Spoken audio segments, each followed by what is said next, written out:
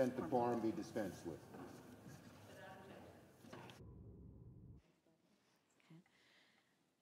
The chair lays before the Senate two certificates of election for the state of Georgia and a certificate of appointment to fill the vacancy created by the resignation of former Senator Kamala D. Harris of California.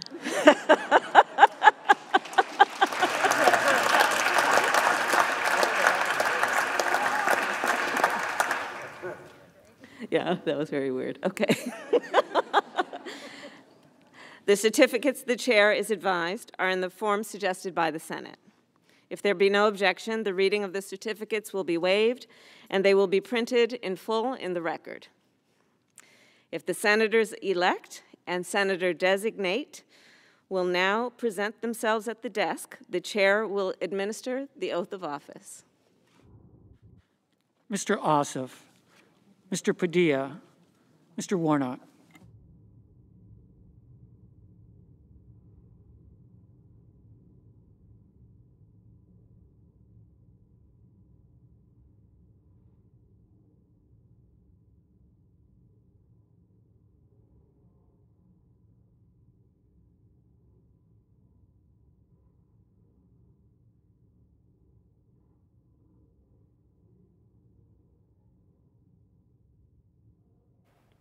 Please raise your right hand. Okay. Do you solemnly swear that you will support and defend the Constitution of the United States against all enemies, foreign and domestic, that you will bear true faith and allegiance to the same, that you take this obligation freely without any mental reservation or purpose of evasion, and that you will well and faithfully discharge the duties of the office on which you are about to enter so help you God. I do. Congratulations.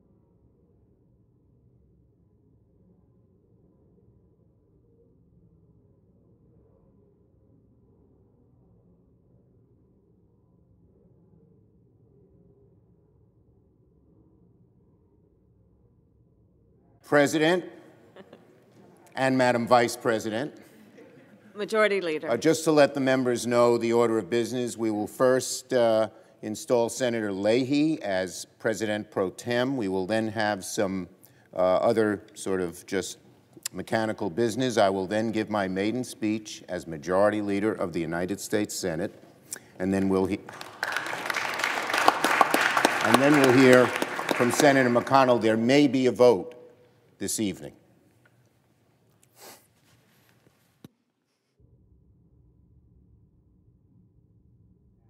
Unanimous consent, the Senate proceed to the consideration of Senate Resolution 6, submitted earlier today. The clerk will report the resolution. Senate Resolution 6, to elect Patrick J. Leahy, a senator from the state of Vermont, to be President pro tempore of the Senate of the United States. Is there objection to the proceeding or the measure?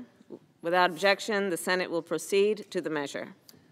Madam President, I ask unanimous consent the resolution be agreed to and that the motion to reconsider be considered made and laid upon the table with no intervening action or debate. Is there an objection? Without objection, so ordered. The senior senator from Vermont will be escorted to the desk.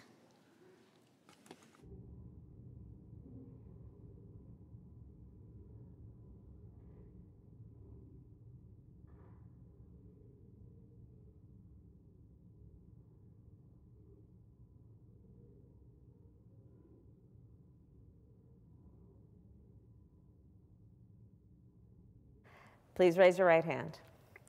Do you solemnly swear that you will support and defend the Constitution of the United States against all enemies, foreign and domestic? I do. That you will bear true faith and allegiance to the same? And that you take this obligation freely without any mental reservation or purpose of evasion? And that you will well and faithfully discharge the duties of the office upon which you are about to enter? So help you God. I do. Congratulations.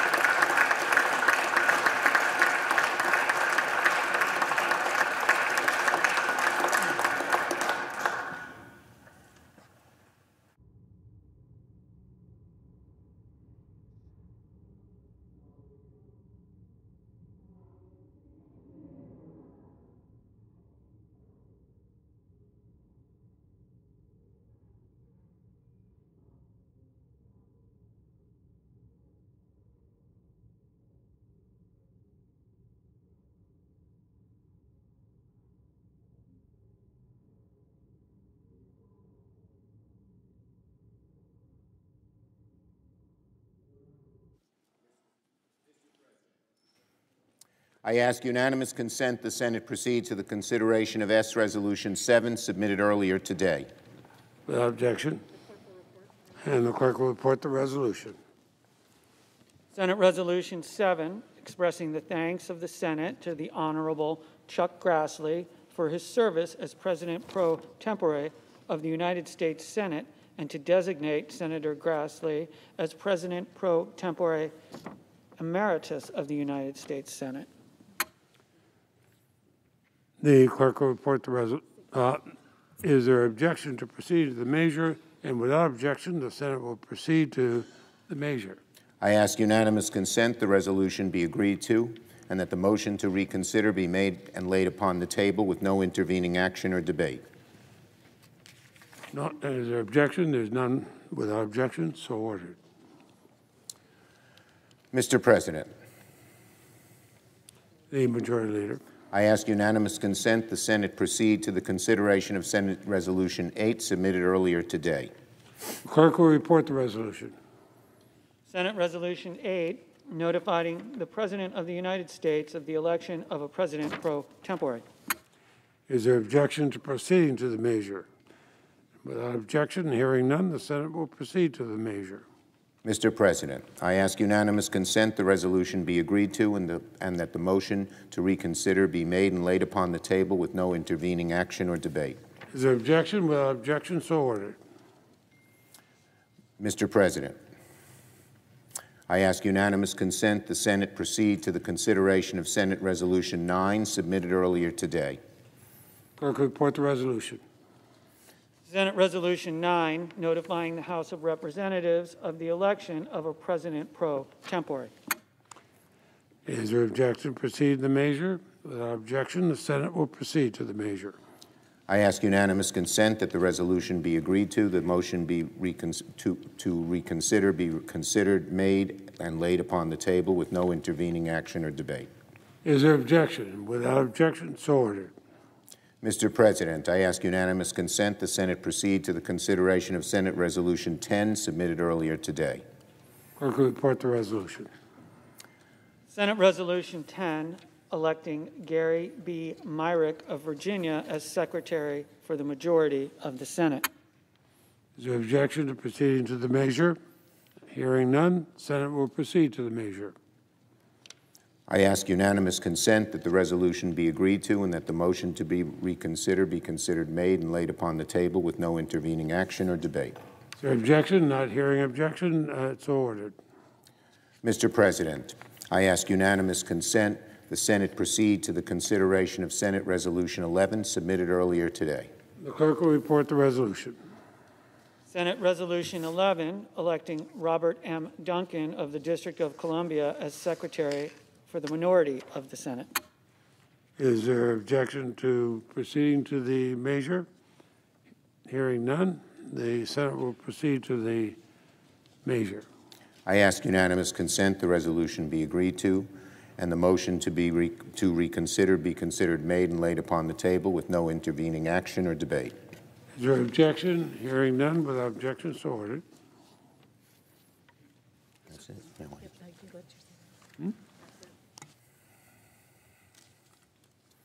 Mr. President, The Majority Leader. Mr. President, I need to catch my breath, so much is happening.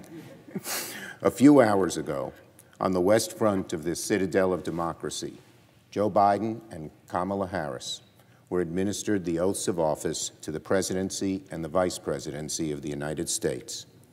We have turned the page to a new chapter in the history of our democracy, and I am full of hope.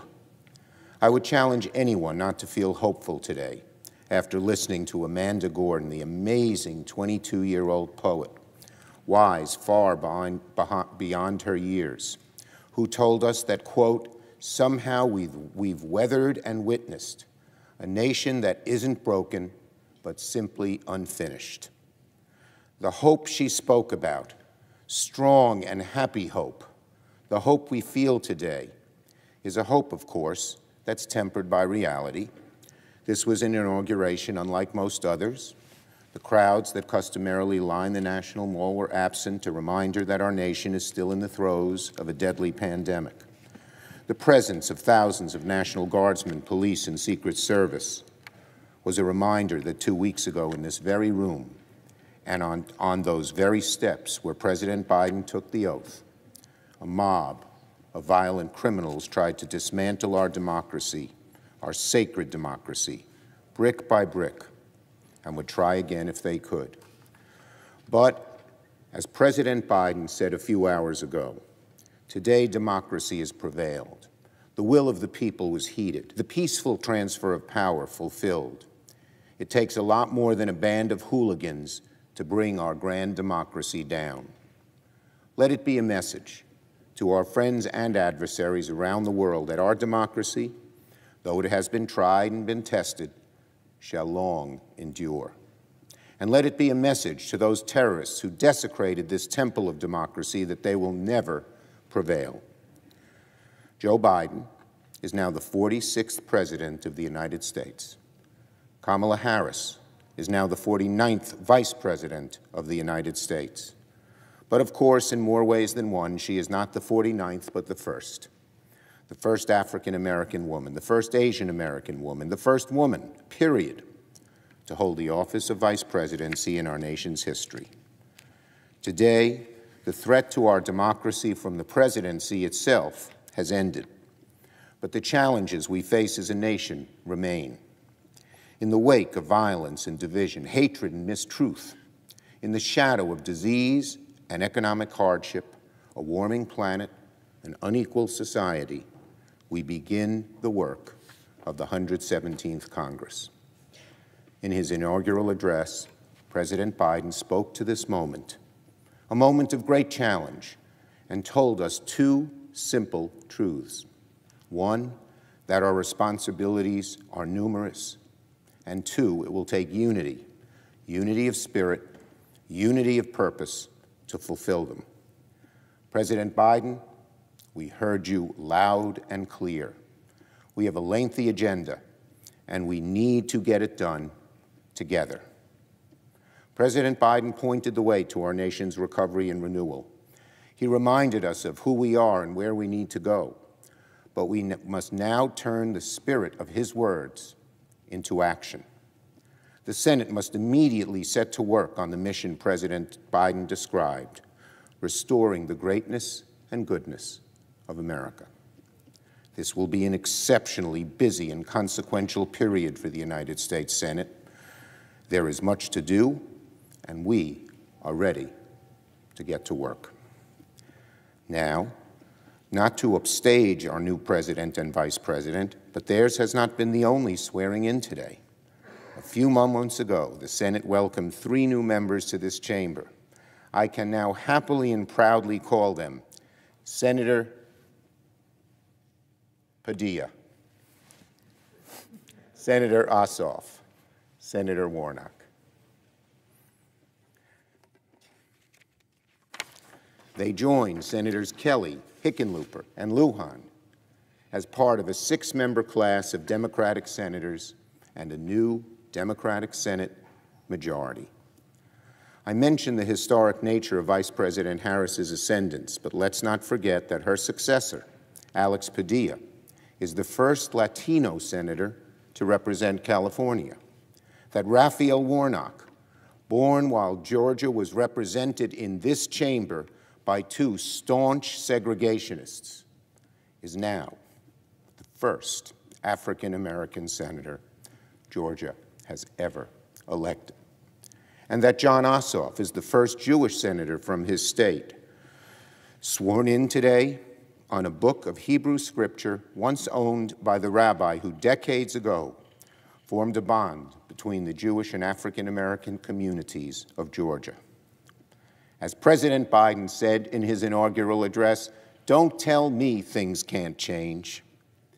With the swearing in of these three senators, the Senate will turn to Democratic control, for which I deeply thank my colleagues will turn to Democratic control under the first New York born majority leader in American history, a kid from Brooklyn, the son of an exterminator and a housewife, a descendant of victims of the Holocaust.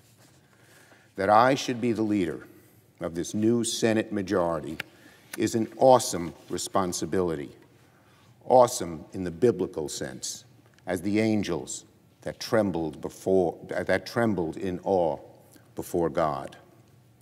Today, I feel the full weight of that responsibility, a sense of reverence, of awe at the trust placed in me. I intend to honor that trust with all of my energy and with joy. And as the majority changes in the Senate, the Senate will do business differently. The Senate will address the challenges our country faces head on and without delay, not with timid solutions, but with boldness and with courage. The Senate will tackle the perils of the moment, a once in a generation health and economic crisis, and it will strive to make progress on generations long struggle for racial justice, economic justice, equality of opportunity, and equality under the law. And make no mistake, the Senate will forcefully, consistently, and urgently address the greatest threat to this country and to our planet, climate change.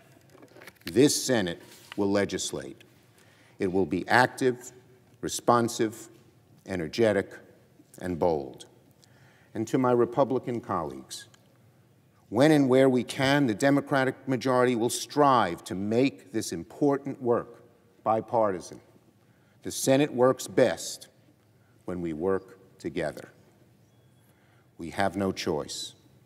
The challenges we face are great. The divisions in the country are real. We have no choice but to try to work together every day to reward the faith the American people have placed in us. So let us begin. I yield the floor.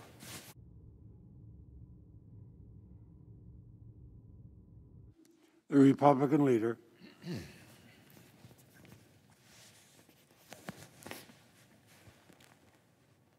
Mr. President, uh, today, before the American people and the world, the peaceful transfer of power that has helped define our nation for more than 230 years was carried out.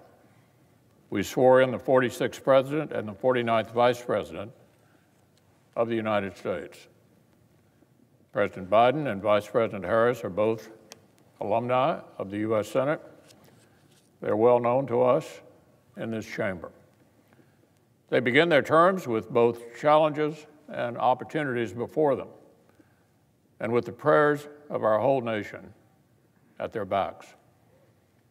President Biden made unity the major theme of his inaugural address. he pledged to be a president for all Americans, to work as hard for the many millions of Americans who did not support his candidacy as he will for the millions who did. So I congratulate my friend from Delaware. Look forward to working with him as our new president wherever possible. Our country deserves for both sides, both parties, to find common ground for the common good everywhere that we can and disagree respectfully where we must. Last fall, the American people chose to elect a narrowly divided House of Representatives, a 50 50 Senate, and a president who promised unity the people intentionally entrusted both political parties with significant power to shape our nation's direction. May we work together to honor that trust. Earlier today, I was honored to present our former colleague, Vice President Harris, with a flag that flew over the, her historic swearing in as our nation's first woman vice president. This groundbreaking achievement elicits national pride that transcends politics. All citizens can applaud the fact that this new three word phrase, Madam Vice President, is now a part of our American lexicon. So, once again, our sincere congratulations to our former colleague from California on this day. I also join my colleagues in warmly welcoming, welcoming our three newest senators, Senator Padilla of California, Senators Ossoff and Warnock of Georgia, have been sent to this chamber by their home states to represent their neighbors and to serve our nation. We have plenty of Senate business to discuss at length in the days ahead, but for now, I just want to congratulate each of our new colleagues I look forward to working alongside them. Under the previous order, the leadership time is reserved. And under the previous order, the Senate will be in a period of morning business with senators permitted to speak therein for up to 10 minutes each. Mr. President, Se- Senator from two minutes to speak, please for two purposes. One, to congratulate my friend Patrick Leahy for once again assuming the position of President Pro Tem after six years of absence, I believe, and also to express my working relationship with him in the uh, 40 years that he and I have served together in the United States Senate. But also to the Fourth Estate, because we always read about rancor on television, radio, and print. They never speak about how senators get along. We've seen a peaceful transfer of leadership position in the United States Senate from a senator from Kentucky to a senator in New York. Now, for the second purpose of rising, because most of my colleagues don't know when there's nobody on the Senate, and I open the Senate up for uh, prayer and uh, for the Pledge of Allegiance, I usually give a one minute speech. And I'd like to give my last one minute speech as President Pro Tem, not saying I won't take advantage of that opportunity when nobody else is around as well. Four years ago, our nation's capital was full of people who had come to celebrate a new president's inauguration, and it was full of people who came to protest the winner of that election. This Biden inauguration was different in that respect. But this year, just like four years ago, there are Americans who questioned the election outcome and did not want the inauguration to proceed. Since Election Day, I have urged Americans to have faith in our constitutional system and let the Constitution work the way it has for 240 years, work its course.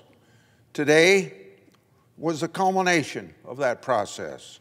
Like four years ago, I know that many Americans are not happy with how it turned out. That is absolutely fine, just like four years ago was fine for those people that resisted.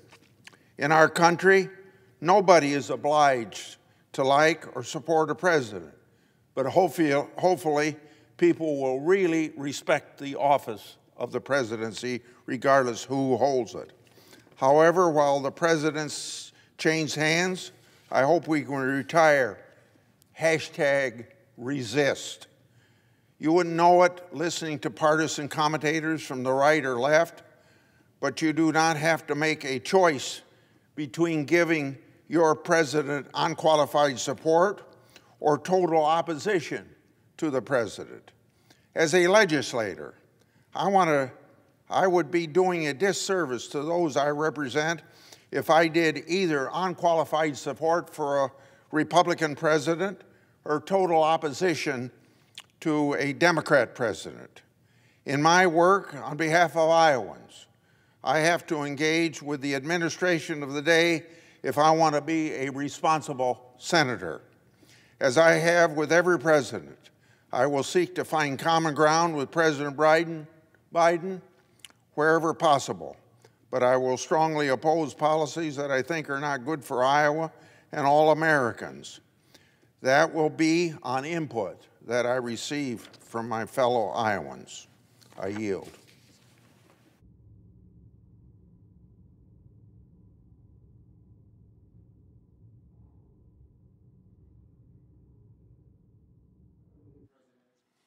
The Majority Leader.